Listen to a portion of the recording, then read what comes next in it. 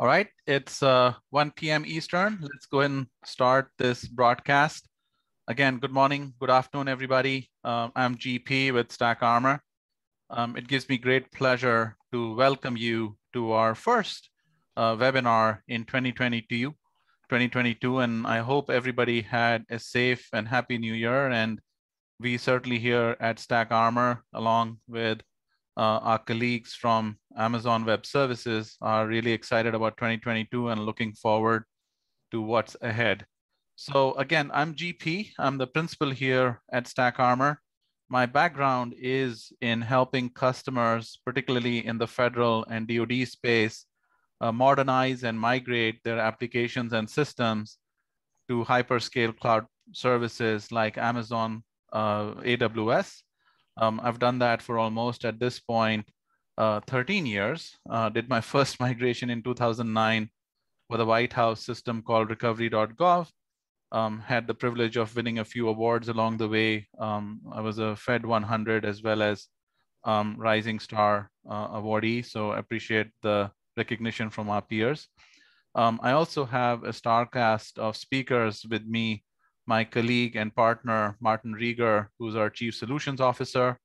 Uh, we've been privileged to have him lead our ATO and compliance practice.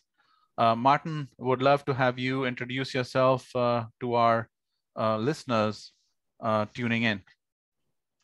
Thank you, GP. Um, yeah, so um, in addition to uh, leading the compliance teams um, and developing packages. I, I come from a uh, Navy background in addition to the 3PAO world being third-party assessment organizations for FedRAMP uh, in both the advisory and uh, assessment sides of the house there, uh, going, going back roughly 10 years since the beginning. Um, had the great privilege of working with a lot of companies and a lot of uh, agencies as well.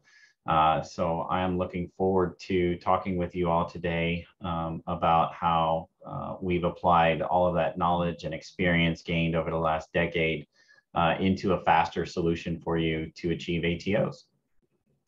Thank you, Martin. Looking forward to that conversation. Just a little quick uh, uh, snippet about Stack Armor.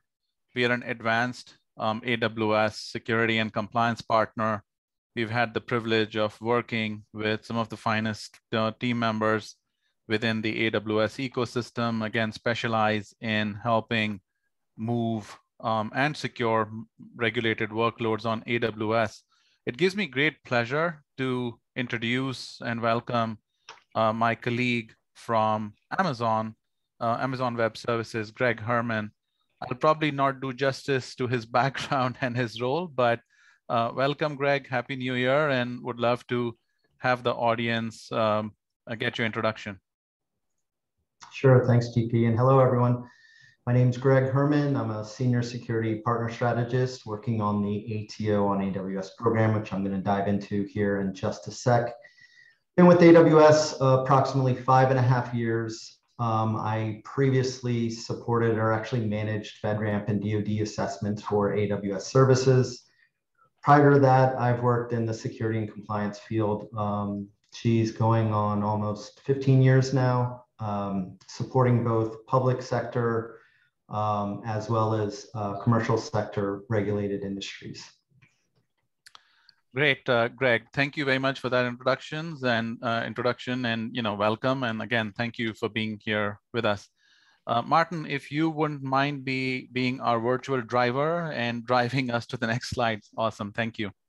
So we have a pretty packed agenda. So let's go and get started. We have about 60 minutes for this broadcast.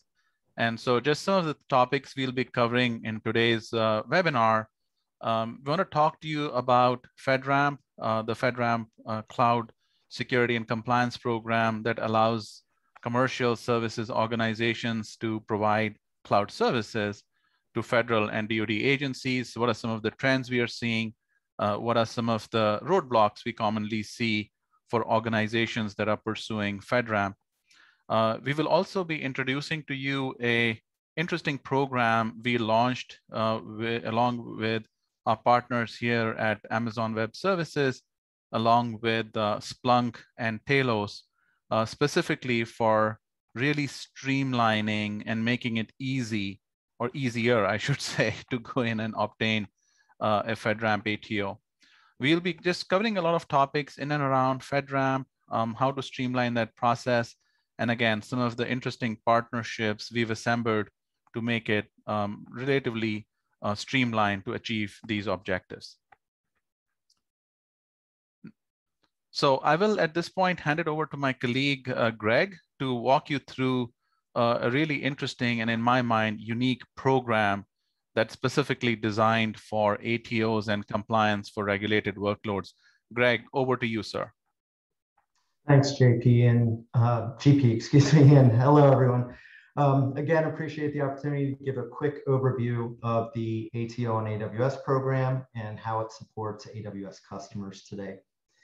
So back in early 2018, we recognized that customers were really struggling to meet their security and compliance requirements in the cloud. Uh, the security capabilities were definitely there. It's just many customers were struggling to translate those on-prem or local requirements, you know, hardware requirements and controls into technical capabilities in the cloud. And this includes ensuring they had identified all the technical services and applications um, they needed to configure and um, install or update to meet those obligations. So prior to the launch of the program, admittedly, we had more of an ad hoc approach on on how we supported customers in that regard. Um, attending meetings, one-off meetings here and there, trying to help customers, you know, as questions rolled in. It was uh, much more reactionary at the time. And the sheer volume of customers seeking that support quickly overwhelmed us. And so we ultimately recognized that, you know, we had many expert partners that could provide direct support to our customers and help them meet this sort of overwhelming demand that we were facing. So in June of 2019, we ultimately launched um, what we affectionately call today the ATO on AWS program. And it has the uh, primary goal of supporting and accelerating AWS customers' abilities to meet their security, regulatory, and compliance requirements on AWS. And we do have an application process whereby partners must submit them online. They, this requires them to go through a review, demonstrate past performance of supporting you know, customers on AWS in this regard. And, and we just, we do this to ensure that any partners that join our program and maintain membership in our program are in fact experts in their field. That way we as AWS um, employees feel confident when we make recommendations to our customers to work with given partners. Now, since our launch, StackArmor has been uh, one of those partners I regularly recommend to our customers um, that are seeking public sector authorizations or certifications. They were uh, one of our original launch partners. They not only helped conceptualize the program, but uh, help ensure its successful launch. And they've been a staunch supporter of the program ever since. So not only is StackArmor obviously experts in their field, but they've proactively worked with other ATO on AWS and even, even other AWS partners, uh, such as Red Hat, Telos, Splunk, to name a few, to develop automated tooling that can really help customers meet their security and compliance obligations and do so at an accelerated rate. And it's with that, uh, which StackArmor will be diving deep with you on today. And so I'll hand it back over to GP and Martin so they can dive uh, pretty deep on their FASTTR program. Again, thanks GP and Martin, appreciate the time. Thank you, Greg. Thank you very much for sharing um, an overview of the ATO on AWS program. Certainly a unique initiative. And again, it's been a privilege to be a part uh, of that program since its inception.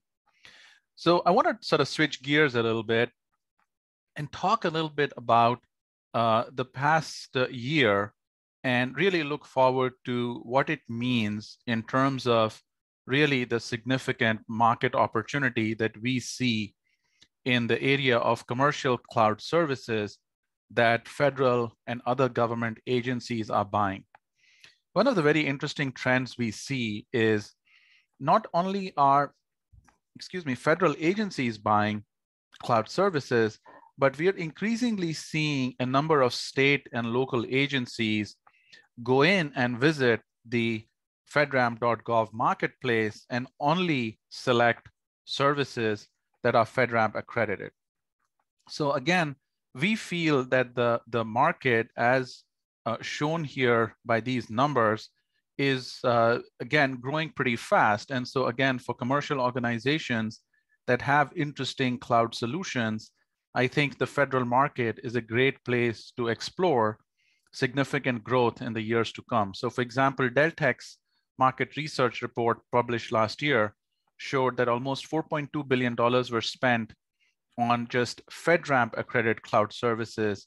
And the overall federal cloud market is expected to grow uh, by 11 point to almost 11.4 billion dollars by 2023. Again, pretty significant market opportunity that continues to grow. Equally interesting is some data from the FedRAMP uh, Program Management Office that shows, along with an incre the increase uh, in demand, is more and more cloud services are being accredited and therefore available in the marketplace. I think, you know, by last count, it's over 250 authorized cloud services. And simultaneously, on the right-hand side, as this graphic shows, there is the increase in reuse. Bottom line, the market is growing significantly, both in terms of availability of solutions as well as the consumption of those solutions as shown by some of these graphics.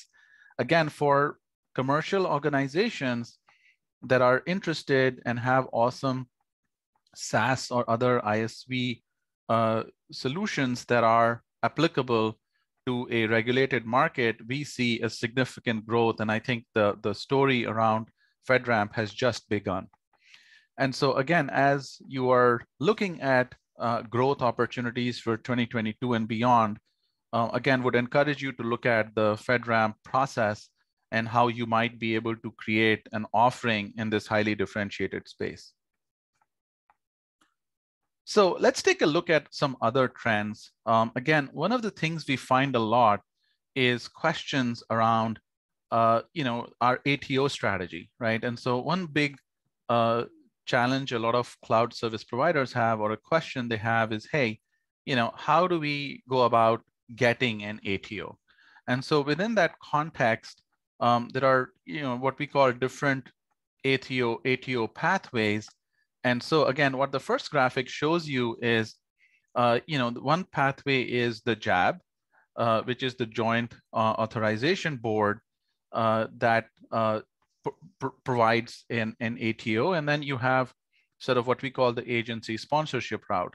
So what these numbers are showing is based on the data from the fedramp.gov marketplace, it's interesting is almost 62% of the ATOs uh, by the JAB were around uh, infrastructure as a service, while 88% were for, uh, you know, for SaaS. So depending on your solution, whether it's IaaS or SaaS, your ATO strategy needs to adapt to that. And so again, we do a lot of advisory and assistance to help you pick the right path. The second thing that's also very interesting is to take a look at the data and see hey, who is buying cloud services? So again, the fedramp.gov marketplace provides some interesting insights and data. So on the left, you see some of the top cloud buyers that are agencies that are leveraging FedRAMP accredited cloud services and are basically consuming those. And so here you see some of the top 10 agencies that are buying cloud services. On the right-hand side, you see the top 10 agencies that are willing to sponsor cloud services. So again, if uh, you're a cloud service provider and you're trying to figure out, you know, where should you go in and market your service, then obviously you want to know who are the agencies that are buying cloud services and, and are uh, and hence more inclined and familiar with the FedRAMP process.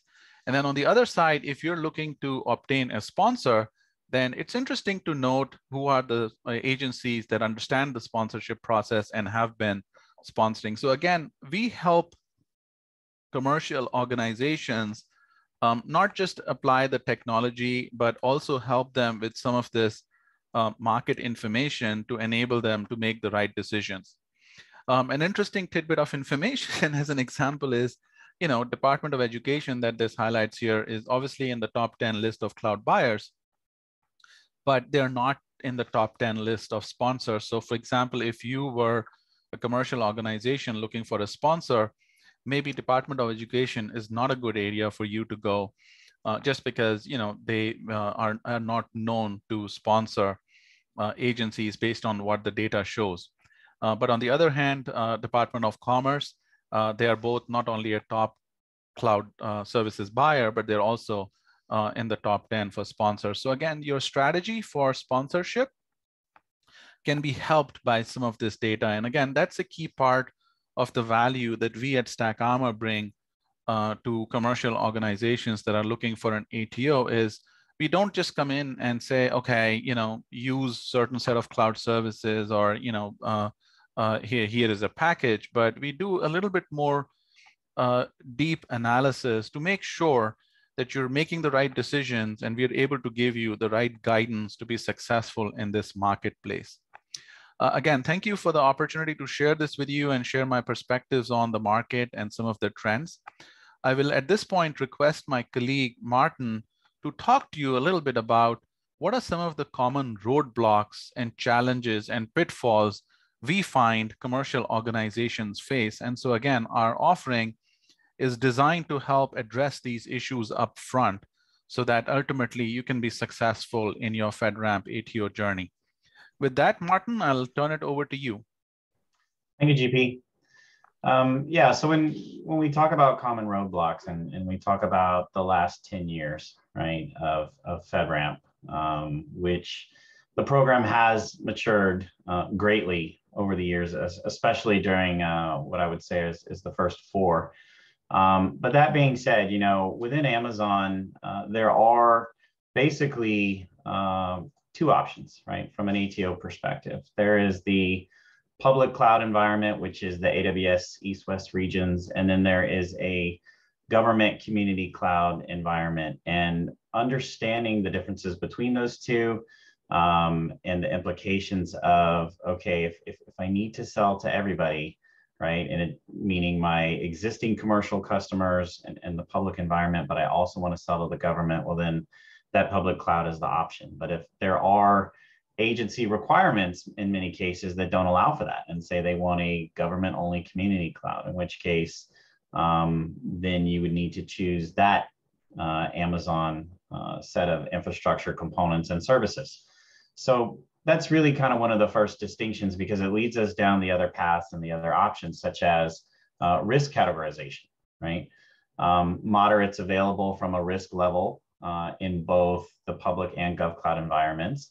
However, high and for instance, the DoD baseline of FedRAMP, um, which includes uh, what's known as an impact level four, uh, exists in GovCloud. So understanding not just public or government, but also the risk categorizations is really another critical uh, aspect that not everybody kind of looks at up front. Everybody's looking to say, okay, I want to get FedRAMP, I want the most secure environment possible, but your business needs also need to be met. Um, encryption requirements are in many cases sometimes show-stopping items. We, we have a federal information processing standard known as 140-2. Uh, there is a level above this, but, but at the moment 140-2 is the requirement. Uh, where encryption is being used. So for example, um, data in motion, data at rest, uh, VPN, multi-factor technology, um, wherever encryption is being used, it's it's got to meet that FIPS 140-2 uh, requirement. And so for some companies, especially if they have their own custom algorithms, their own custom modules, or even if they're leveraging someone else's, um, if that compliance certificate isn't there, it is a show-stopping item, right? Um, so let's say you know where you want to go. You've got your um, risk level established there are a couple different paths you can go, including what is known as the Joint Authorization Board, which requires no sponsorship. Uh, but alternatively, we have an agency path, which does require sponsorship, which basically means the agency is your partner. Um, they are in it from uh, the initial go live all the way to decommissioning of the system, the, the, full life cycle um, that agency is is responsible for all of the risk in the in the environment, whereas the JAB takes no risk at all. Um, they grant what's known as a uh, provisional ATO, which can then be taken by an agency, uh, put on their own letterhead, signed and authorized, and, and be used again and again and again. And that's really the foundation and purpose of FedRAMP, which is to assess once and use that ATO again and again um, without having to go back and re-audit. So you've selected your path, uh, you're ready to get started. You know, the question is always, how many people is this going to take? You know, even with the assistance and the accelerators that we offer here uh, at Stack Armor, there are still things you have to do on your side of the house. There's your development teams, your engineering folks, um, project and program management, your business team, your human resources teams. So um, in terms of, of roadblocks, understanding that this is not just a documentation exercise, it's not a deploy, set it and forget it, it is a continuous ongoing, um, continuous monitoring environment that does require resources, even when you have accelerators in place. So, you know, kind of coming to the last couple items here, change control. Um, you've got an authorized service. How do you add new services later? Well, or even modify things, right? There's what's known as a significant change process. Uh, it has subcomponents and there are uh, the ability to add new services, new features, and you can change um, the baseline and the environment uh, by following the process FedRAMP has in place. And they, they do have forms and templates and uh, three PAOs, agencies, and the FedRAMP PMO, everybody's involved. Um, but there is a methodology, there is a process that does allow you to add new services and features and change the environment. Uh, so understanding that and knowing ahead of time, it, it, it doesn't have to be set completely in stone. Um, but once authorized, uh, it does get a little more complicated. So second to last item here, the budgeting aspect of this. Um, it's not the same necessarily for everyone. You've probably seen some articles in the news about the millions some companies spend. Um, it's not always that drastic, right? Or, or even to that extent. Uh, FedRAMP can be done efficiently, effectively, uh, and there are cost saving metrics and mechanisms for this, um, which is what FASTTR is designed to do, uh, which is really knock out a good portion of this budget by leveraging prefabbed uh, controls in addition to solutions that can be deployed rapidly, documented quickly, and get you to that ATO faster. Um, the last item here at the bottom, which is sponsorship. Uh, I always tell folks, it's half the battle, folks. Um, that without a sponsor, things are extremely difficult. But if, if you remember the JAB package, the JAB path does not require a sponsor. So you do have a way to get there. But if the agency route is your goal, um, having their buy-in uh, and having them commit to sponsoring you um, really is half the battle. Uh, with, without that, it, it's really hard to move forward. You can assess, but then um, assessments grow stale, you know, after a period of time uh, and different components, roughly a year. But uh, aside from that, sponsorship is a critical piece. So what is FASTTR, right? Um, ultimately, this is a AWS-led initiative uh, with the partners under the ATO on AWS program, meaning each of this, Amazon, Splunk, Stack Armor, and Telos, um, we all came together to put together a security and compliance um, solution that's not only all in one, but specifically designed for government. So a core portion of this is the threat alert ATO accelerator. Um, the ATO accelerator is deployed in Boundary uh, at, with platform as a code components behind it. So all of the auditing, logging, vulnerability scanning, uh, security architecture and security stack requirements um, are met through the threat alert GSS, which is then um, accompanied by the deployment of landing zones that are hardened and pre-configured and designed from the ground up to be compliant with NIST controls so that you can deploy your applications quickly. Uh, the last core piece of this is the Telos uh, Xacta 360 product, which is OSCAL ready. Um, for those that aren't familiar, OSCAL is a uh, machine language readable format of NIST controls that allows us to document um, in an OSCAL ready system and also export the FedRAMP package or push it to another OSCAL enabled environment, such as GSA systems or health and human service systems. Um, these packages that, that we prepare uh, include controls that we provide and supply to you as audit ready controls. And it also supports your post ATO continuous monitoring activities. Um, there is, is one last core aspect to this, which is uh, ATO acceleration, right? And, and we do this in an agile manner. As I mentioned before, you've got uh, basically two options with Amazon. You can go east-west or you can go GovCloud. So we begin with landing zones in whichever environment you choose. Uh, we follow that up by deploying um, the Cloud Security General Support System, which is all of the security control tools needed to continuously monitor and maintain a FedRAMP environment. Um, everything is deployed in boundary. And, and if you're not familiar with the term boundary, we're talking about an accreditation boundary, which is really uh, an invisible line that we draw around the entire solution and the environments and scope for an audit.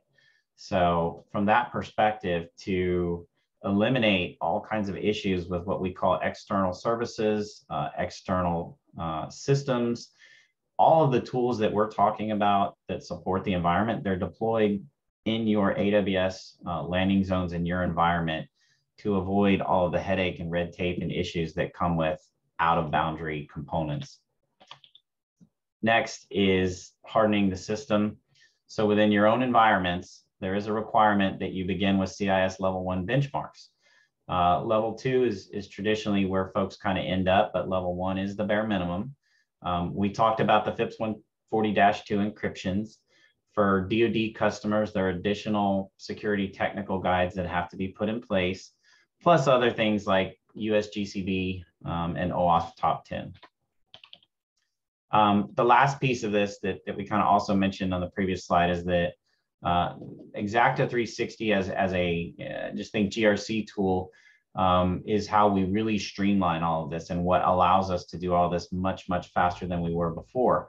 Uh, in other words, not leveraging the Word docs and the Excel sheets and the different components that are uh, FedRAMP GSA templates and attachments.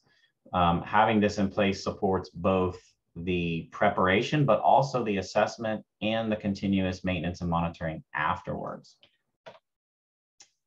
Uh, I'm going to turn this back over to GP now to talk to you about the boundaries. Thank you, Martin. And so, you know, one of the things we find a lot is, uh, you know, again, we talked a little bit about how Martin described, you know, people talk about, uh, you know, FedRAMP projects potentially costing, you know, millions of dollars or, you know, uh, uh, many, many months or, you know, if not years again, we've just found just based on experience and having done this for a long time, is there are certain key things that contribute to that complexity or delay. And so uh, we're just, we've just streamlined that process. And one of the key things is to make sure that the data that's going to be hosted within the cloud system um, is protected in a manner that's that's that's consistent with what a federal or DoD agency would expect. And the way we do that is to make sure that we go in and draw a fairly distinct boundary, which is essentially that red line that you see around uh, this diagram that represents the environment where data is stored.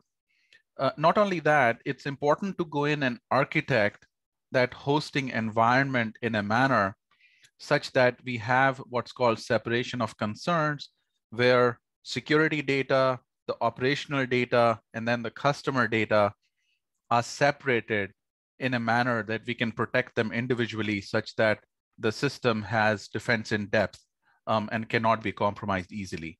All of these different aspects are already built into it. And so then we go in and essentially have that ready-made blueprint with which now we have, as you know, Martin described earlier, is an engineering approach to an ATO. A lot of times, a lot of organizations um, are supported by, you know, auditors or, you know, organizations that don't necessarily have that much of an engineering background. But again, uh, we have, uh, again, streamlined this process by moving a lot of this security and automation baked into the solution. So we're able to deliver a boundary. We're able to then go in and take a uh, engineering approach and you know what we call an agile pipeline approach. This is what you see here. So first, draw the boundary, deploy the security services, then go in and make the package ready in a manner that um, it streamlines that process. Again, OSCAL is something that you'll be hearing about uh, a lot in the next coming months. And so we're already ready for that. Uh, there are some other aspects around the use of um, NIST SP 800-53 Rev 5. So again, it becomes very important to be what I call, you know, future ready. Um, once we have the environment stood up and the package done, we then get into essentially what we call assessment support, where uh, we need to assist with uh, the performance of interviews uh, during the audit process by a third-party assessor organization. Also, uh, assisting in meetings with your sponsor agency, as an example, to provide evidentiary information, to provide explanations, and also potentially with the FedRAMP PMO uh, to be able to go in and answer any questions they might have, and again, be a part of your team to go in and make sure you're able to go in and articulate the responses in a manner that the um, auditor or the agency is looking for. And finally, once the ATO has been achieved, um, there are a set of uh, what we call 58 uh, FedRAMP continuous monitoring controls that have to be adhered to. So we, again, as StackArmor, provide managed services, managed security services, as well as compliance services to make sure that you know your team has the necessary support um, and expertise to be able to um, not only obtain the ATO, but then of course to maintain it. Uh, I, at this point, I'll turn it over to my colleague Martin to walk you through how all of these disparate pieces come together through the FASTTR process. Thank you, GP. So basically, there there's three kind of core elements to this, and and the process um, really begins with um, you know the establishment and building of that in boundary landing zone. Okay, so we've got our infrastructure services, we've got our platform components, and then there is the preparation of, of the customer SaaS environment, which could be production uh, or production plus uh, a dev and test environment as well. Um, so in deploying customer environments, right, there is uh, what's known as inheritance. Um, one of the beauties, uh, I, I think, of the AWS environment that sometimes folks understand, but there are things that are sort of overlooked is, is the ability to inherit, right? So when we talk about inheritance from a controls perspective or security controls, you know, you can leverage controls and you can inherit them. And so from a AWS perspective, everybody tends to think about the physical and environmental controls and the maintenance controls for those facilities and, and the media protection of the drives that exist within there. But there are other things too um, such as contingency planning controls for uh, alternate availability zones, alternate regions, uh, the backup and recovery aspects. So um, that deployment is, is basically uh, in the infrastructure environment and leverage of those controls is followed by the tailoring uh, to a sense, in the sense that um, when we tailor controls, um, that that's another way of saying sometimes they're modified, enhanced, or we add uh, additional compensating controls to perhaps assist with things that maybe we can't fully execute every checklist, and, and sometimes that happens. But in order to do so, um, we, we do have options and we do have additional capabilities to make sure that you can achieve readiness, right? That you are prepared for an audit and ready to be tested and assessed. So this, this really, these first three steps um, are, are what comprise kind of that ATO machine or what we term ATOM uh, in getting you ready to go. From an assessment standpoint, um, we don't just prepare you. We're here during the entire process, during the entire audit. Uh, our teams support the interviews, evidence and artifacts gathering, screenshots, exports, uh, whatever's needed during uh, the assessment process. The next step in that is authorization, right? So whether agency or JAB, right? During the review uh, of the package, in other words, a security assessment report, pen test report, scans, uh, the team is there every step of the way. This is followed by continuous monitoring, which um, really once you get your ATO, you are officially in a continuous monitoring state. Um, that last step here is if, if you are a package or a company that is looking to use the ATO again and again, going through the agency is step one, that ATO is an agency ATO. Step two, or the final step is being listed in the FedRAMP marketplace so that that ATO can be pulled down again as a provisional and signed and authorized again and again and again. Um, throughout this process, you know, there's a lot of documentation, there's a lot of implementation, there's the development of policies and procedures and plans. And so I don't want to ignore that. That's a continuous ongoing effort. But this is the process in order to achieve uh, FedRAMP ATOs. We do have uh, and support other uh, compliance frameworks such as FISMA, RMF, CMMC, uh, 800 171, or, or, or what you might term DFARS and ITAR, depending on where you're going. Um, so, so this process is applied to all of them, not just FedRAMP. Um, I want to take a moment to talk about Xacta 360, which is a Telos product. Um, they have basically established a, a, tool that's specifically designed to automate the ATO process. This is where the documentation, the SSP, the other FedRAMP artifacts and attachments that we need are created, stored, and exchanged, uh, in addition to the, the workflow. So from a advisory perspective, each, each Xacta uh, server is a project that is stored in Boundary in the environment. Um, it belongs to the customers and each control individually is managed and tracked um, they can also be mapped back to other frameworks, so not just FedRAMP. Uh, they have uh, APIs and plugins and capabilities that allow you to pull in AWS infrastructure data. So it's not just um, the management, monitoring, and maintenance of the security controls uh, and the SSP. Um, it also has a capability of pulling in from vulnerability scanners and SIEM tools and things like that. So rapid workflow, uh, rapid development of documentation in addition to the assessment and testing pieces of this.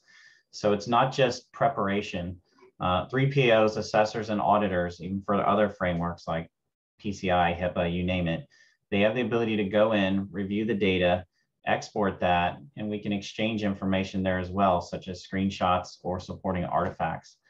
Um, on the right side of the screen, I think one of the greatest things uh, about um, the Xacta tool is the ability to not only transmit um, the SSP and package to another OSCAL ready system, but if needed, export it in a FedRAMP ready SSP, which has been reviewed by the PMO um, and accepted. So we, we are using the, the very first system that's capable of doing this.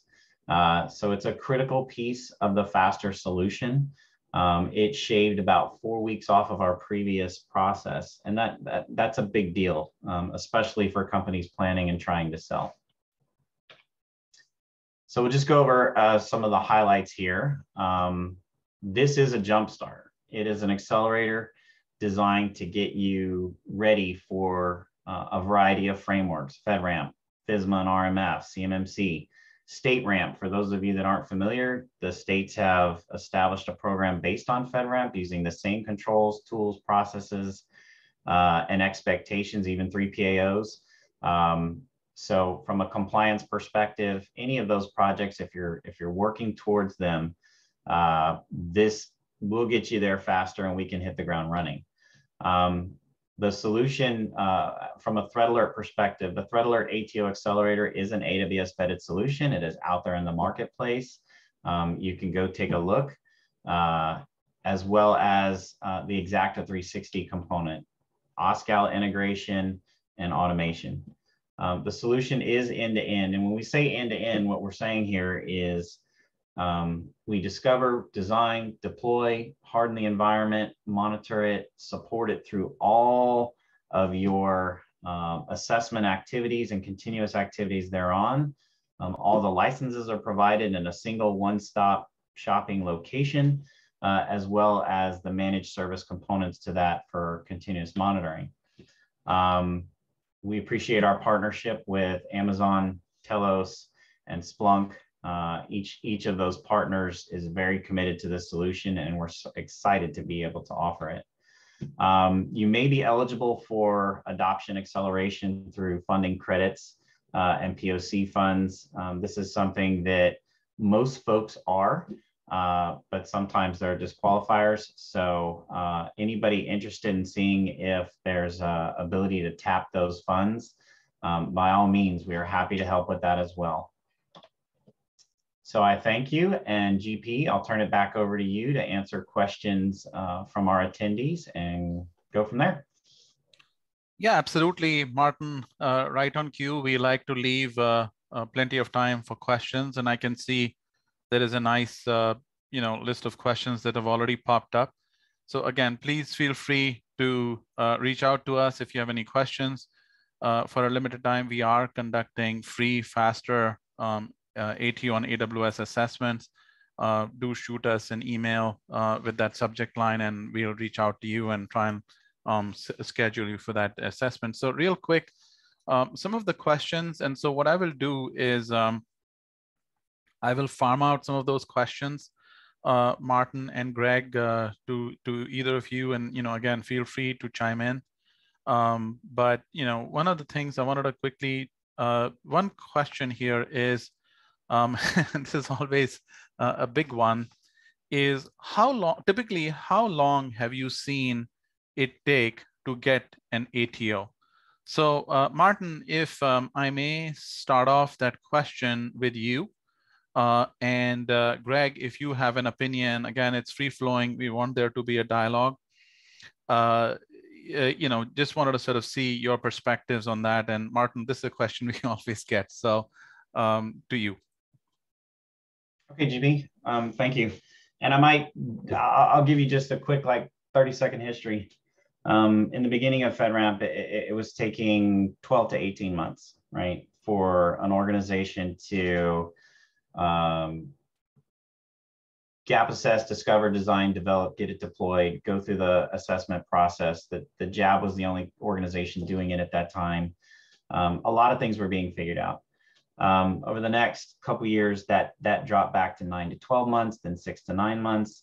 Um, and, and now we're in a state where it's it's roughly three to six months, okay, but in most cases nine. It's important to remember that the JAB and the FedRAMP Program Management Office allocate a 12-month time frame. They, they allow for 12 months to get through FedRAMP. And that really includes a buffer for delays, right? So from an agency perspective, they do the exact same thing. An, an agency's initial sponsorship, uh, once the process is started, is also good for 12 months. But if we look back and remember, an assessment is good for 12 months as well. So that 12 month timeline is a reoccurring theme throughout. Um, we have prepared companies in as fast as four weeks to get through FedRAMP, and, and some companies take the average of, of what is roughly uh, three to four months in terms of preparation. Uh, there, there's a lot of aspects that go into this. There's the preparation of the environment. Um, there's a period of performance, which is roughly 60 to 90 days, depending on the, the assessor and agency. So you've kind of got three months and three months, that's six months. Um, if you tack on the audit itself, once it begins with a 3PAO, it's, it's an average of eight to 12 weeks. Uh, which includes that kind of program management office, but that's assuming no delays and everything goes perfect. So what we've seen over the last two years that I can tell you, um, it is between six and 12 months. Uh, I'm sorry, six and nine months, with nine months being um, the traditional timeline. Three months to prepare, three months to uh, continuously monitor, and roughly three months to audit. Thank you. Thank you for that, Martin. Yes, I think that's a good question. And, you know, it's very important. And I know uh, there are different, you know, data points available within the marketplace, but I think, you know, having an overall understanding of the different steps is important. Greg, I want to make sure that we get your perspective in as well. If uh, you want to add something or if there's something else that you've seen, again, you've done this for a long time and I'm sure you will see a lot of customers and you know probably the same set of questions. Any anything to add from your perspective, sir? Uh, yeah, thanks. Um, so right now, the way we do actually track, we use uh, metrics off the FedRAMP marketplace. And right now we're seeing about an eight month average to achieve an agency um, ATO, FedRAMP moderate agency ATO. Uh, one of the things that I really talk to customers about is, um, and, and one of the pain points I see with customers, quite frankly, is generally our customers focus on either the technical implementations and get heavily focused on that and maybe don't focus quite as much on the documentation and the authorization package that you ultimately have to submit, or vice versa.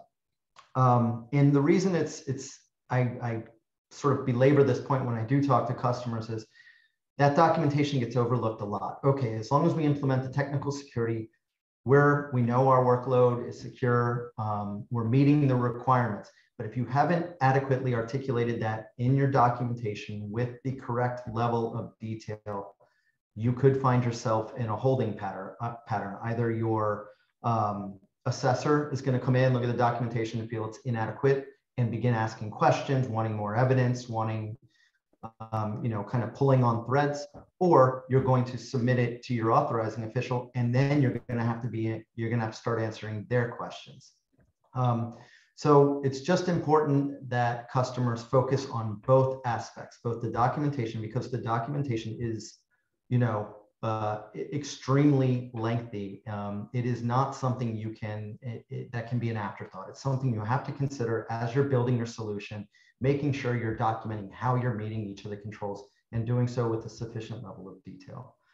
Um, but again, when customers uh, struggle to meet their techno- technical perspective, ensuring they're meeting all their requirements from a technical perspective, that's really when I push um, or recommend to customers that they work with a, with a partner like StackArmor.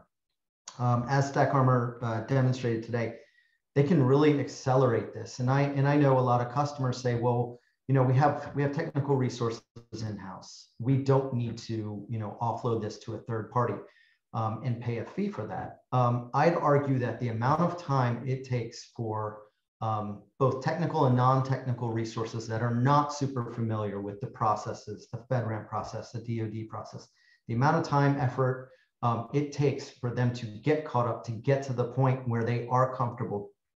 The costs associated with that easily offset the cost you would face if you worked with an expert partner like StackArmor. And now that's not just me sitting here giving a commercial. I mean that wholeheartedly.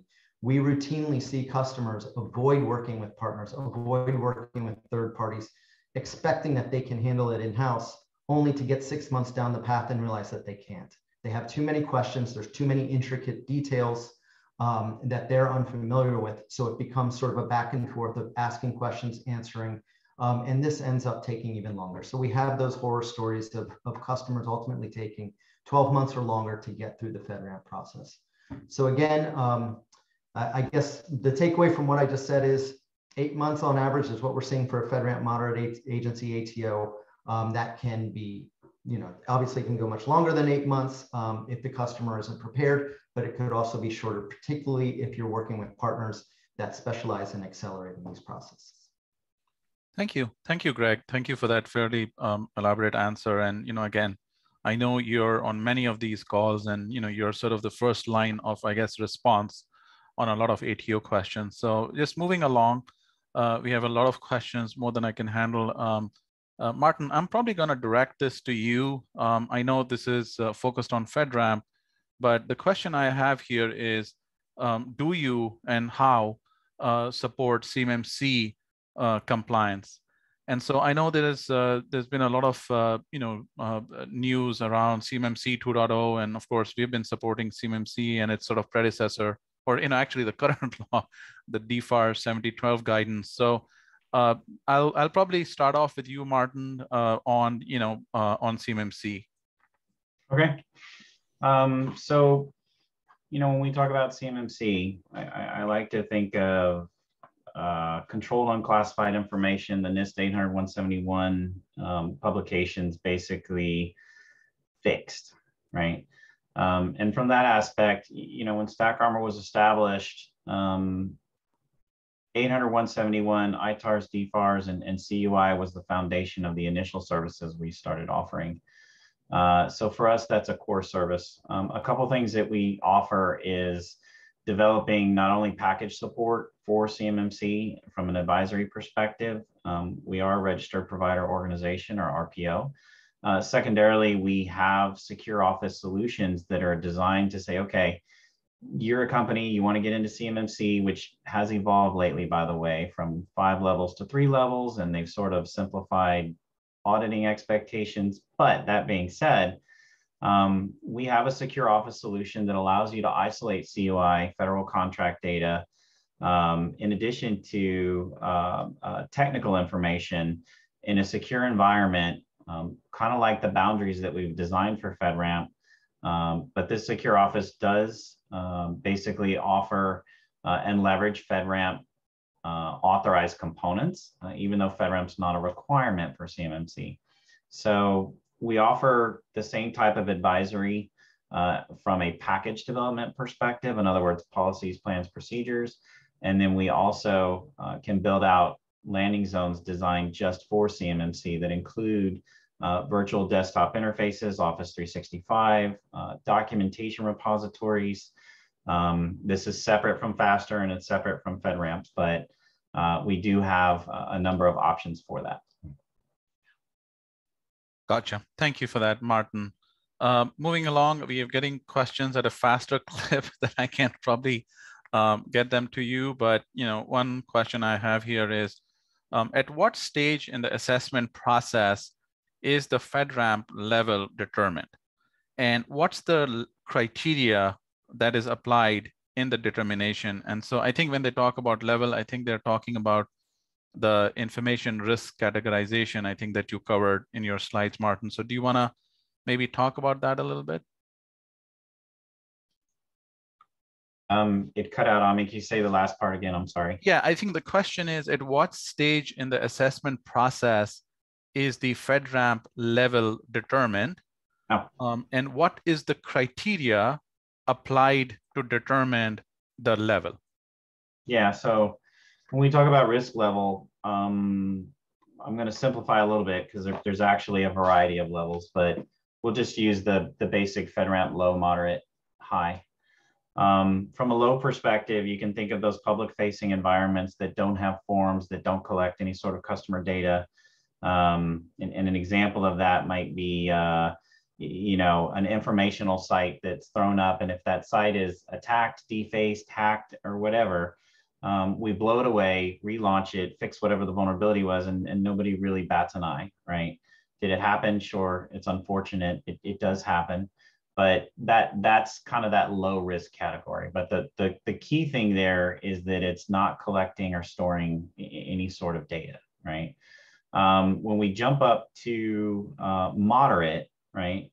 Um, that moderate risk data in the sense that could cause or bring harm to an agency or the individuals accessing the system um, or other folks. Now, it, it, when we talk about high, the traditional measurement there is financial, law enforcement, PHI, uh, patient healthcare information, or personally identifiable, um, or information that is, is sensitive enough to the point that we want to eliminate as much human interaction as possible. Um, the high baseline is not a confidential secret, top secret. Sometimes folks see high and they think high side for those that are familiar. That's not what that is. Um, there are DoD baselines for confidential and secret type environments. Um, but when we compare moderate to high, um, there, there's a reason that roughly 80% of the systems out there are moderate. Uh, the high baseline isn't just extremely difficult, it's also difficult to get an agency to sponsor it. So to kind of come back to your question, when does it happen? It, it really needs to happen at the beginning.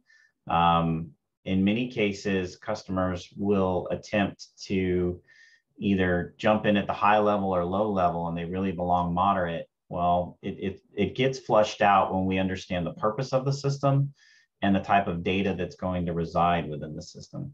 So agencies will traditionally, especially sponsoring agencies, come in and tell you, we want this to be a moderate or we want this to be a high.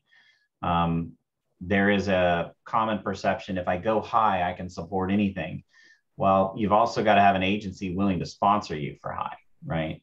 Uh, and that's not always achievable. But the moderate systems that exist today, um, that selection is, is basically uh, determined and evaluated uh, through a document we call a FIPS 199, which is a risk categorization, where we go through all the different data types and we say, okay, is this a low risk, moderate, or high risk?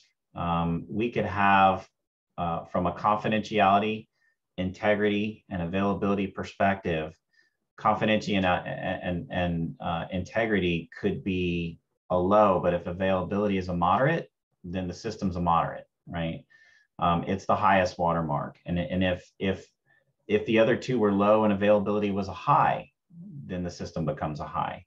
So there, there's a lot of factors. It's not that simple of a question to answer, but hopefully that helped.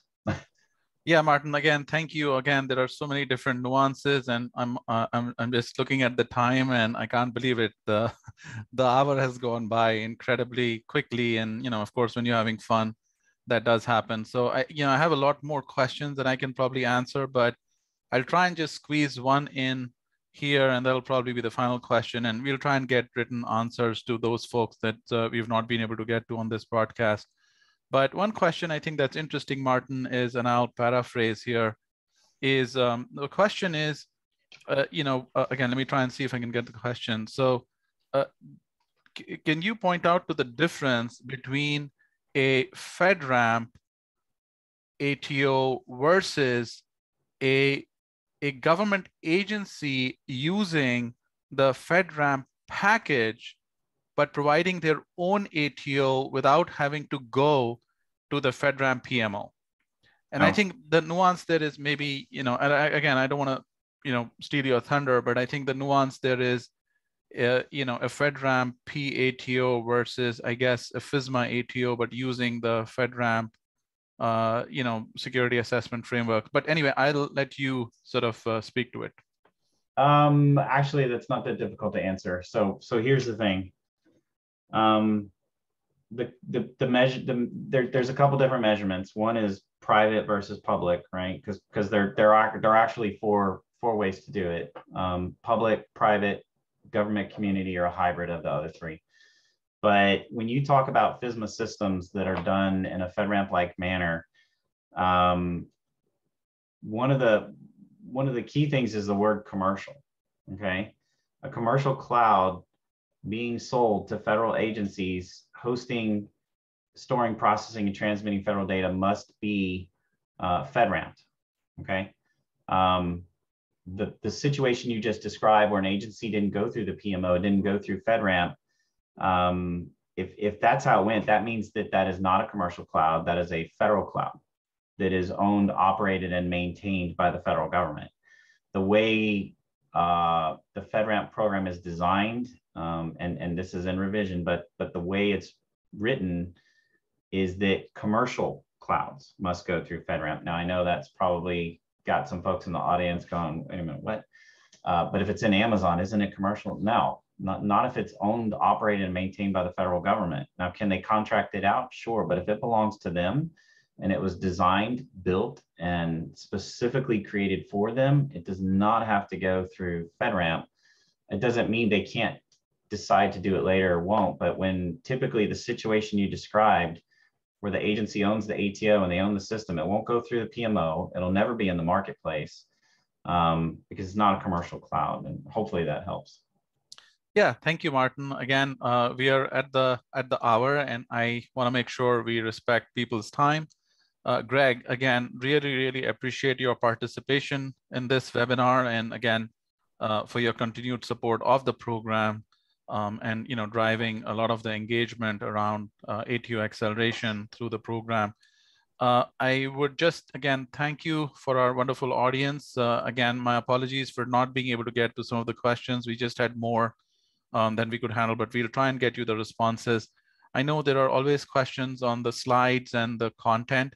And so uh, as my colleague Amreen, uh, our web coordinator, uh, webinar coordinator mentioned, we will make the uh, recording of this presentation available on our website. um, just give us a little time to get it edited and cleaned up and you know formatted in a way that it gets uh, gets there. So please do stay tuned. Um, in case you are a ISV or organization that's pursuing either a FedRAMP, FISMA, or CMMC compliance project in 2022, uh, do give us a shout and give us an opportunity to share more with you and see if we can help um, accelerate your program for uh, this kind of a compliance. Again, we appreciate your participation. I hope everybody stays safe and has a wonderful day ahead and week. Again, Greg and Martin, thank you very much. Thanks, GP. Thank you.